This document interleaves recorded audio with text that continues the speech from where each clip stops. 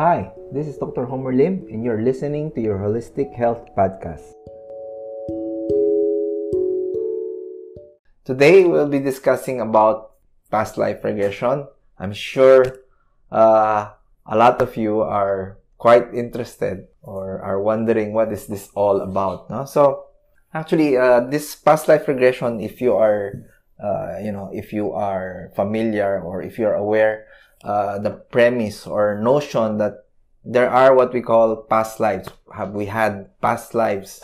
Did we have lives before this lifetime? No, so in some religions they do agree, you know, and they do say that you have had already um, hundreds, or sometimes even thousands of past lives. No, uh, of course, in our uh, pretty much predominant uh, Catholic society, so uh, in the Bible, past lives were never mentioned. No? So, so how did we get, I mean, personally, how did I get into these things called past lives? Actually, it started with the book by uh, Brian Weiss, Many Lives, Many Masters. Okay, so he's actually a um, hypnotherapist. Okay, so he accidentally put someone in a very deep state of hypnosis and then they were able to access their past lives. So after that, then I went and then I read books about, uh, again, past lives called Destiny of the Soul, Journeys of the Souls. This book is by, um, Michael Newton. So, so based on these books, then I was, it was pretty much clear. And even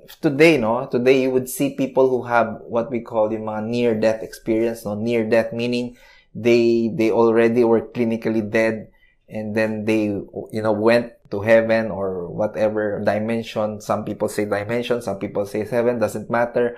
So they they go into a place wherein they are met with usually their loved ones or someone that they're very close. Now these near death experiences now are very very similar to what those people in when they do an what we call yung regression or past life regression. So this is what they they experience. So it's very, very similar. So even those that have near death experience, they do realize that there are, there is actually even life after death, they call it. No? So there's life after death. So, uh, so I guess you know, to some it's very controversial, to some it's taboo, no? You're not supposed to talk about it. But it's, honestly, it's, it's a real, you know, it's a real, uh, phenomenon. I mean, this has been proven uh, even by other hypnotherapists as well as psych- psychiatrists who have accidentally, you know, put people under hypnosis into a very severe, uh, I mean, not severe, deep state of hypnosis and they're able to access different past lives. What's nice about what Michael Newton did was he was able to regress people into past lives and actually um, confirm, confirm their names, confirm their age, their time of uh, the, the, time that they were um, alive. So these were how do you say confirmed that they really had these past lives or the things that they saw were actually uh, what was hap- what happened okay in their previous lives so so from there then i i guess we got more interested. So one of the things that i also learned was doing what we call in past life regression. So so when we do past life regression it's not something that you see on tv or in you know, you, you go, you come in, people tell you, or you're the healer or whoever tell you, oh, you have this past life, uh, blah, blah, blah, blah. No, that's not how it works, no? So the, the real, when we do the regression, it has to be, there has to be some form of direction. There's something that you want to resolve. There's something that you need to get over with.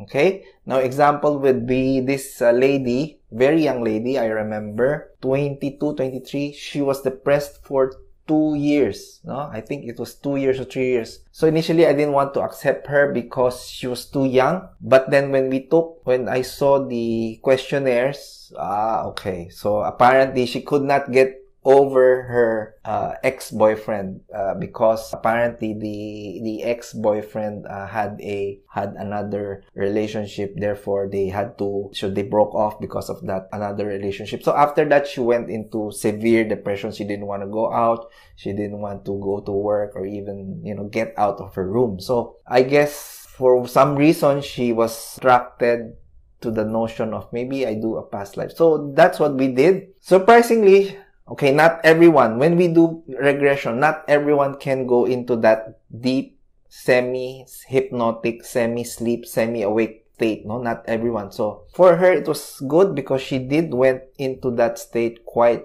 quickly, I would say. And then after that, she saw herself as a man and her ex-boyfriend as a woman.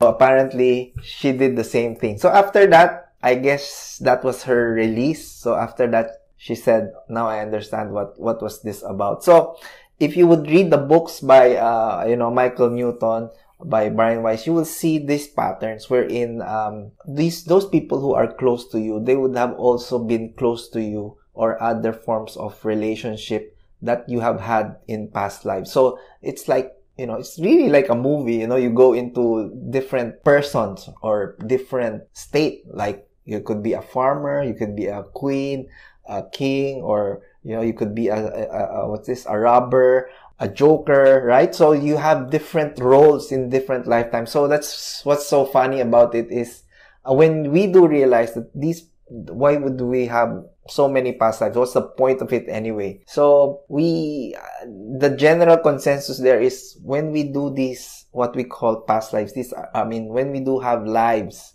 okay, lives upon lives is because it's a form of training, form of us learning lessons. So that was one thing that uh, I think after that past life with that young lady, she was quite happy and you could see that, you know, she got, she got it. She understood what this was all about. That she should not be too much affected and she has to move on her with her life. So I think that's the one thing that we really want to achieve is we want to change their outlook. We want to make them aware of maybe, maybe what are their problems now could be because of other lifetimes. But it does not mean that, you know, it will solve your present problems, right? So some people think if I would know that I was a queen or a king, so what? Does not it if even if you're a king or a queen in that lifetime, does not make a difference now, right? Because now in this lifetime, there are no queens anymore, kings anymore, right? So, so when we do past lives, it's, it's a more technical, more deliberate, no? So there has to be a purpose. It's just, you don't just go do past lives. So we don't do, we don't accept, honestly, personally, I don't accept doing regression if there's no real issue that's causing them, you know, real problems. Like, as I said, they go into depression, they have some form of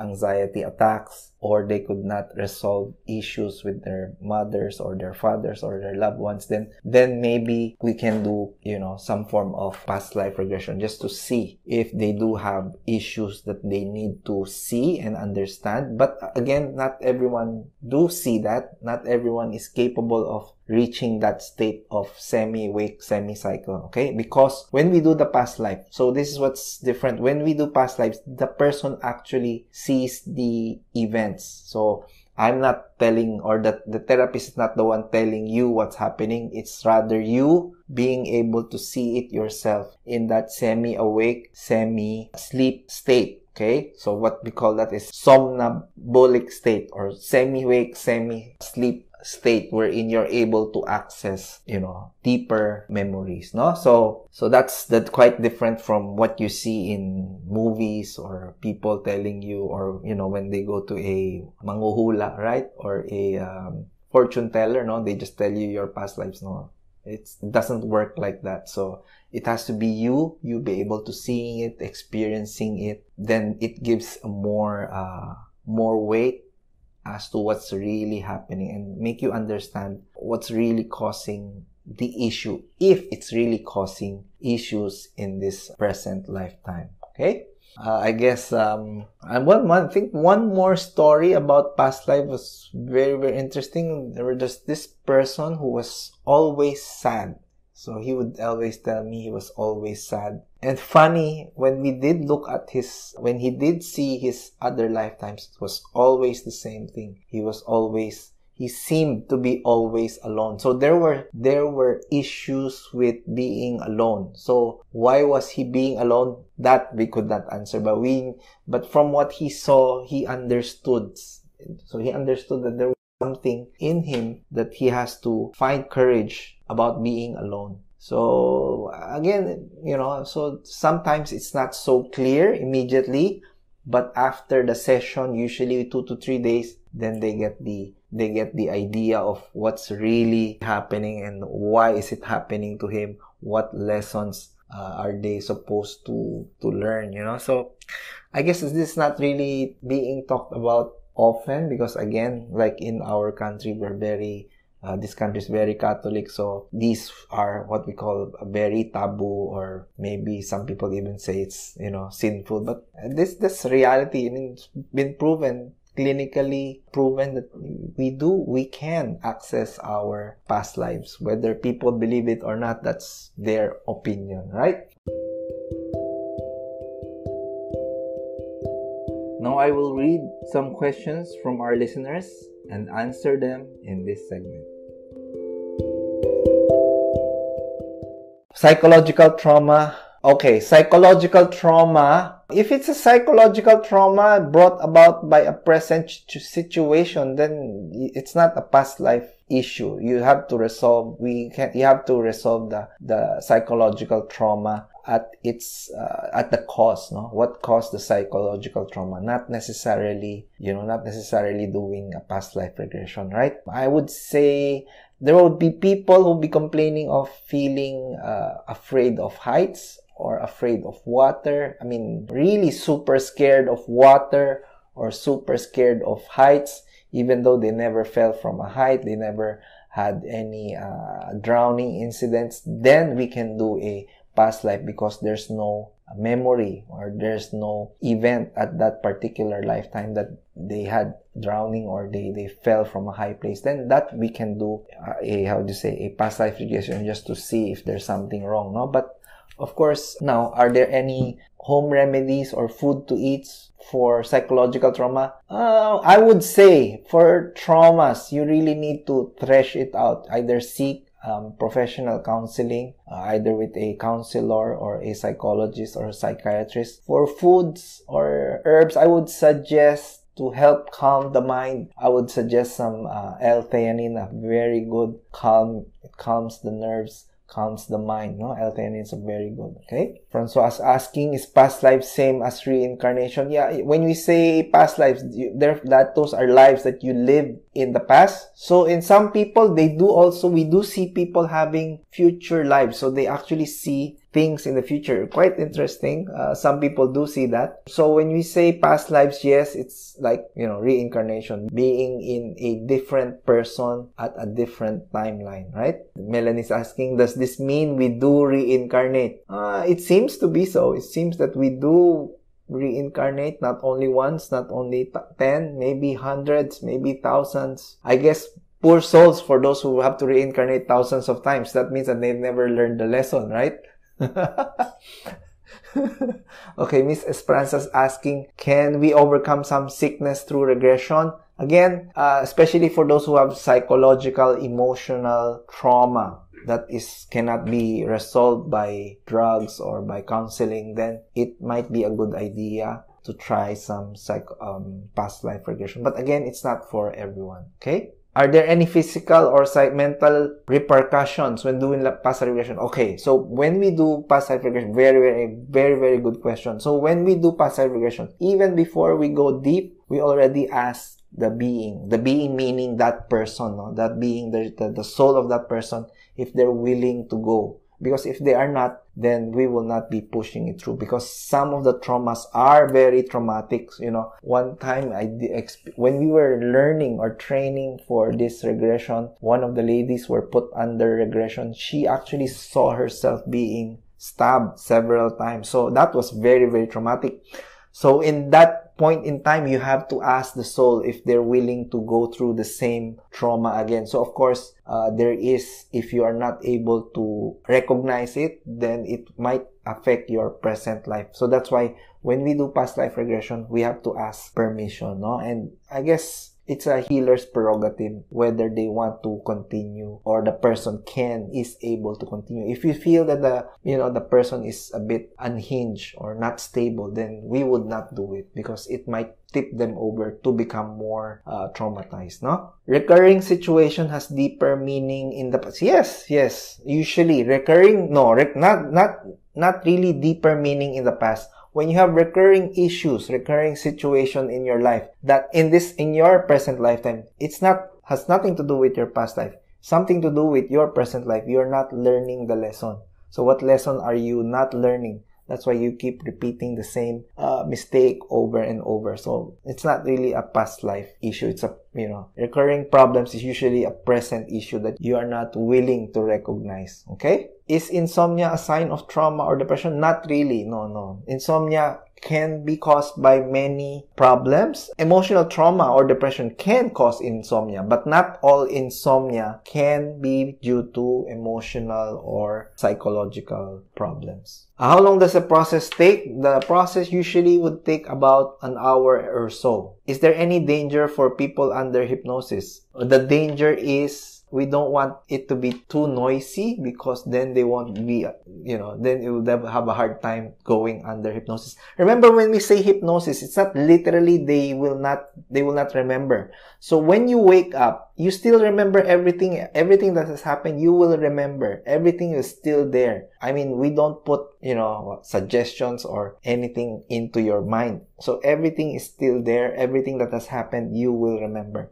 You're not put under to the point that you don't remember anything, no? It's not like what others do with just they put a recording, right? And then they put under hypnosis so they don't remember actually everything. But here when we do the regression, they do remember everything. So it's not really you know, we put in any suggestions that might be bad for them. So that we don't do that, okay? Anxiety attacks when raining. Need by regression. Okay, if you have anxiety attacks when it rains, it could be simply because before when you were young, when there was strong rains, you know, there were big floods and you got afraid. So it doesn't have to be because of another uh, of past. Because you had experience when you were young wherein they had you had strong rains and there were floods or whatever. So it kind of caused you some form of anxiety no